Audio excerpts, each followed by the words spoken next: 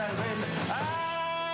I said to the mouse, stay out of my house! I was having a marvellous time living life as an Irishman with me family at home and with me new Irish family down at the pub.